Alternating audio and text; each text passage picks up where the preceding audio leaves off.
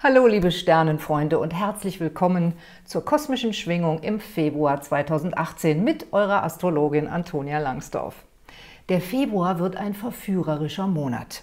Wir werden in Versuchung geführt, sowohl in der Liebe als auch wenn es darum geht, ob wir unsere guten Vorsätze und Pläne auch wirklich einhalten oder ob wir uns ablenken lassen. Wir wollen nämlich Spaß haben und sind zu Liebesabenteuern aufgelegt. Und das gilt nicht nur, weil die tollen Tage des Karnevals in den Februar fallen und weil wir Valentinstag haben. Falls ihr angesichts dieser Aufregung Beratungsbedarf habt, könnt ihr euch gerne an mich wenden. Ihr erreicht mich über meine Homepage oder direkt über mein Kundentelefon. Und beides verlinke ich hier auf der Infokarte und es steht auch unten in der Videobeschreibung. Dann wollte ich euch auch nochmal an mein Jahreshoroskop-Buch erinnern. Wenn ihr es kauft, habt ihr nicht nur einen tollen Überblick über alle Tendenzen und euren Erlebnishintergrund für das ganze Jahr, sondern ihr unterstützt auch meine Arbeit für die kostenlosen Horoskop-Videos. Mit etwas Glück könnt ihr das Buch auch in der Verlosung gewinnen. Mehr dazu am Ende des Videos, also bleibt dran! Meine Gewinnerin aus der Verlosung vom Januar ist Michaela Braun. Herzlichen Glückwunsch, liebe Michaela. Unten eingeblendet siehst du meine E-Mail-Adresse und mein Kundentelefon. Bitte melde dich bei mir, damit wir einen Beratungstermin vereinbaren können. Jetzt möchte ich euch erstmal einen Überblick über die Konstellationen geben. Bei den langsam laufenden Planeten ist alles wie gehabt. Das könnt ihr euch nochmal im Jahreshoroskop Teil 1 anschauen oder im Buch nachlesen.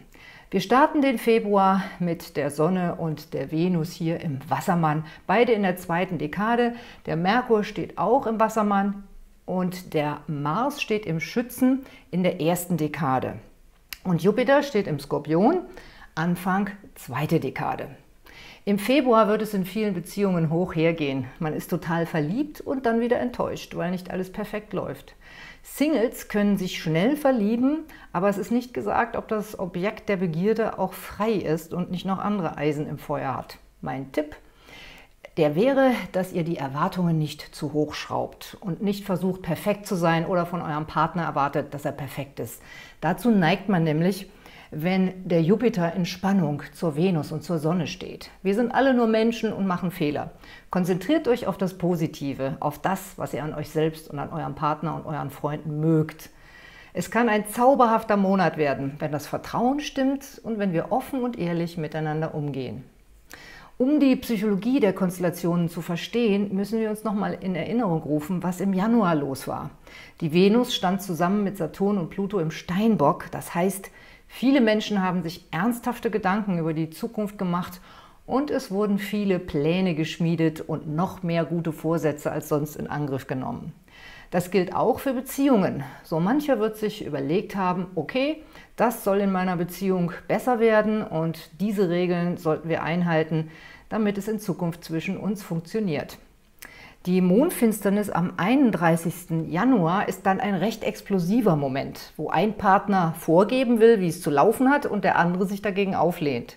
Außerdem, das hatte ich euch ja schon gesagt, laufen wir mit dieser Konstellation Gefahr, bei sozialen Aktivitäten Leute zu vergessen oder auszuschließen und die sind dann schwer beleidigt. Die Mondfinsternis und die Venus stehen in Spannung zum Jupiter. Und das bedeutet, wir werden nachlässig, was unsere Regeln und Vorsätze angeht, denn wir wollen Spaß haben. Vorsätze, die man unter Saturn fasst, haben oft, äh, etwas Strenges und das erscheint uns auf einmal nicht mehr so lustvoll. Dazu passt, dass es mit der Karnevalssession jetzt auf die tollen Tage zugeht, die zwischen dem 8 und dem 13. Februar ihren Höhepunkt erreichen. Und da schlägt man ja auch gerne über die Stränge und lässt sich verführen oder verführt selbst. Dafür stehen die Konstellationen einfach perfekt. Wer sich vorgenommen hatte, es alles richtig zu machen, wird es schwer haben, seinen eigenen Ansprüchen zu genügen. Am 11. Februar geht die Venus in die Fische und kurz danach beginnt dann der Mars den Spannungsaspekt hier zu Neptun in den Fischen. Und diese kritische Phase geht etwa vom 14. Februar bis zum Monatsende. Der 14. ist ja Valentinstag und der hat diese Spannung also drin, verbunden auch mit der Jupiterspannung auf die Sonne. Und das heißt, wir haben eine große Erwartungshaltung und große romantische Hoffnungen.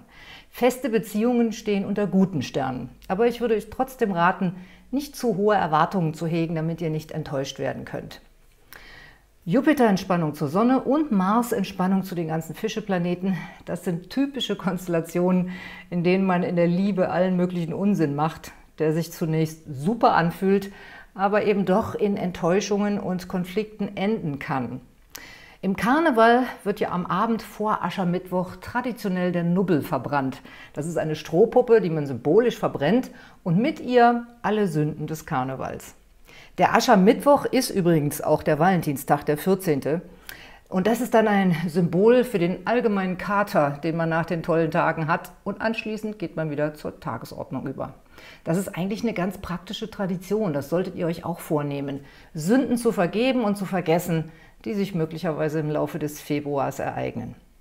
Kurz nach dem Aschermittwoch beginnt dann nämlich diese Spannung zwischen Mars und Neptun, sieht man hier schon, und später auch der Venus. Und dann fangen wir an, uns darüber zu ärgern, dass wir die guten Vorsätze schon einmal gebrochen haben oder dass wir die Beziehungsregeln, an die wir uns doch halten wollten, doch nicht eingehalten haben.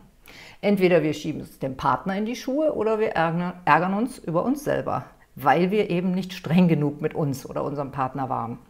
Da muss man sich dann fragen, sind meine Vorsätze und Regeln zu streng oder bin ich zu lasch und werde nichts erreichen, wenn ich mich nicht mehr an das halte, was ich mir vorgenommen habe? Außerdem ist diese Spannung auch eine typische Täuschungs- und Betrugskonstellation. Ihr müsst also aufpassen, dass ihr selbst keine falschen Versprechen gebt und auch, ob euer Gegenüber es wirklich ernst mit euch meint. Wenn ihr einen Verdacht habt, brütet nicht drauf rum, sondern sprecht es offen an und zieht gegebenenfalls die Konsequenzen. Aber ich muss auch sagen, die Aspekte haben einen sehr, sehr prickelnden Charakter.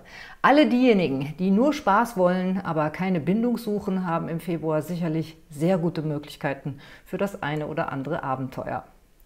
Positiv ist die Neumond-Konstellation am 15. Februar. Der Neumond findet auf 27 Grad Wassermann statt und steht in einem schönen Aspekt zu Uranus. Sieht man hier. Und der Merkur ist auch noch mit dabei. Das ist eine Energie von Erneuerung, von neuen Gedanken, von frischem Wind und neuen Ideen und außergewöhnlichen Lösungen für bestehende Probleme.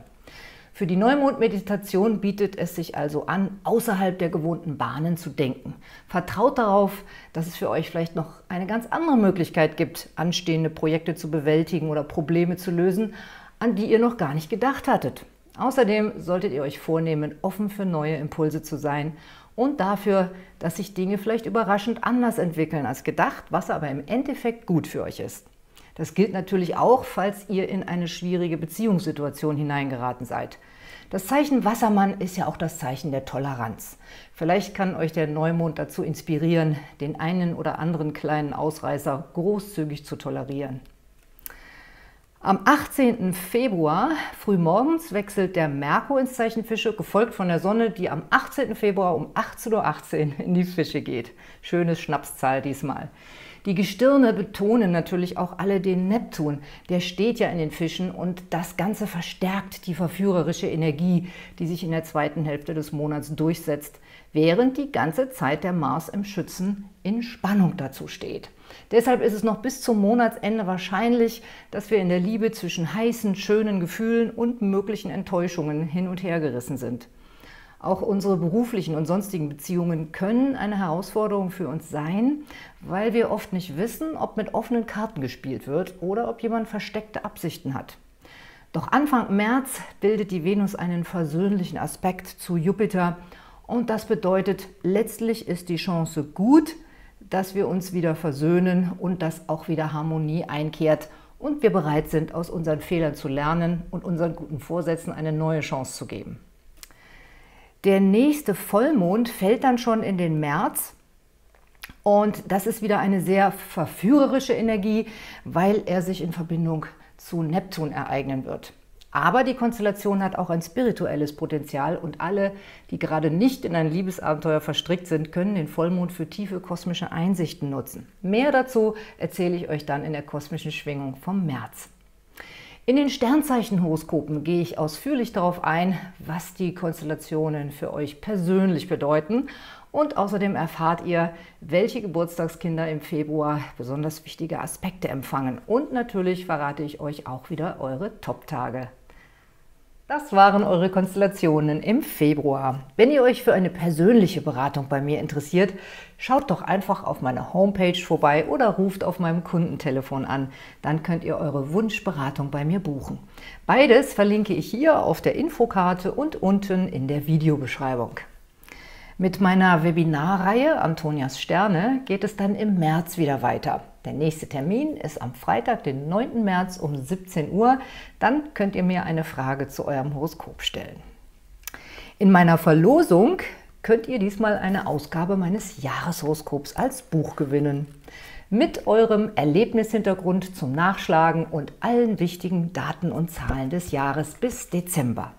Natürlich freue ich mich auch, wenn ihr euch das Buch kauft, denn dann habt ihr nicht nur ein schönes Buch mit den Tendenzen für das ganze Jahr, sondern ihr unterstützt damit auch meine Arbeit für die kostenlosen Horoskop-Videos. Und so nehmt ihr an der Verlosung teil, postet mir einfach einen netten Kommentar und abonniert meinen Kanal. Einfach hier klicken, dann seid ihr bei der Verlosung dabei. Schaut euch für euren Erlebnishintergrund auch nochmal Teil 1 eures Jahreshoroskops als Video an, falls ihr es noch nicht gesehen habt. Und wichtige Informationen zu den Konstellationen gibt es auch in meinen Video-Specials. Ich wünsche euch alles Gute mit den Sternen.